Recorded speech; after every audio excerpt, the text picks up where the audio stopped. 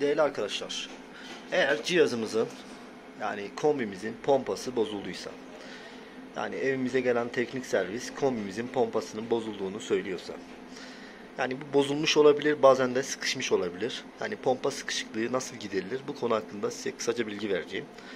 Bu anlatmış olduğum bilgi bütün hemen hemen bütün marka kombiler için geçerlidir. Hemen cihazımızı söküyoruz arkadaşlar. Söktüğümüz zaman tüm kombilerde şöyle Vilo veya Grunfuchs veya kombinin markasına göre bazen kendi markasına özel baskı olarak üretiyor. Ama bütün pompalar hemen hemen aynıdır. Şöyle bir düz tornavida alıyoruz arkadaşlar. Şurayı söküyoruz arkadaşlar. Tam tersi açtığım gibi arkadaşlar.